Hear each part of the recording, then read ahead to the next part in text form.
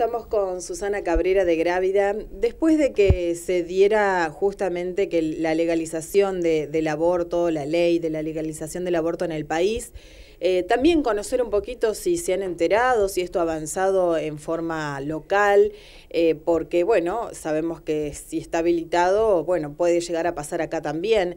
Eh, ustedes son quienes están preparadas para contener a las personas y no llegar justamente a eso. Eh, sí, nosotros realmente, eh, nosotros nos capacitamos, los voluntarios, hacemos capacitación para estar al cuidado y abrazar la vida. Y sí, eh, tenemos que ser reales, es decir, pero el servicio sigue trabajando, el servicio no ha decaído, estamos de pie, estamos acompañando, estamos acompañando a las mamás.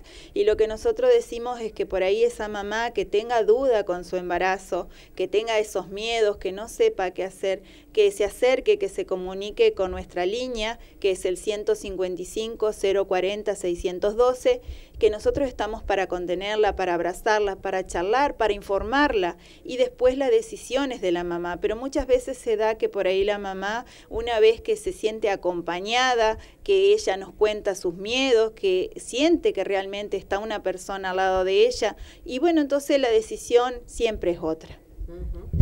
¿Pasó que no pudieron controlar alguna situación? Sí, como siempre es así. Nosotros respetamos. Siempre el servicio trabaja sobre lo que es el respeto. Entonces nosotros estamos ahí acompañando, aconsejando, como te dije, informando, pero la decisión la toma la mamá.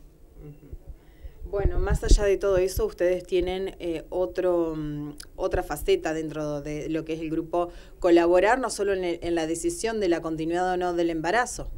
Sí, nosotros no solo acompañamos los que son los riesgos de aborto, sino también acompañamos a las mamás que por ahí se sienten solas, que por ahí como que están pasando por un momento complicado, entonces que sea un riesgo social, o por ejemplo un embarazo de riesgo, por ahí hay mamás que tienen que estar en cama porque por ahí eh, se lo pide que nada más que la obstetra o el ginecólogo, que son embarazos complicados, entonces nosotros también a esas mamás las visitamos, las acompañamos, las escuchamos, hasta que la mamá pueda llegar a término con su embarazo, ¿sí? Y aparte también trabajamos en lo que es eh, la promoción humana, no solamente en trabajar en la parte social, sino también esto de con campañas. El año pasado hicimos la campaña del lavado de manos, que estuvimos acompañando a Neonatología del San Roque y a nuestras mamitas de acá. Y también este año vamos a implementar para la Pascua una campaña que es de salud bucal, donde nos han prestado colaboración también las odontólogas de la ciudad, así que muy agradecidos.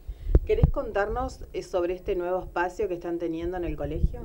Bueno, en el colegio estábamos, como te comento, que estábamos quedando chicos porque la solidaridad de la comunidad de Crespo eh, es grande, así que estamos más que felices y agradecidos siempre que tenemos un espacio, lo decimos. Entonces teníamos coches, cunas y todas estas cuestiones. Eh, quedamos chicos tanto en la parroquia del Rosario como en la parroquia San José, entonces generosamente el colegio nos compartió una salita donde estuvimos trabajando durante el verano, revocando, pintando, haciendo las cortinas, carteles y todo para recondicionar la salita y hace unos días eh, ya quedó todo listo, así que mudamos varios elementos, así que bueno, ahí está la salita para ir eh, mandando todas las cosas que por ahí no nos entran en las parroquias, ahí lo guardamos y también se genera un espacio para compartir.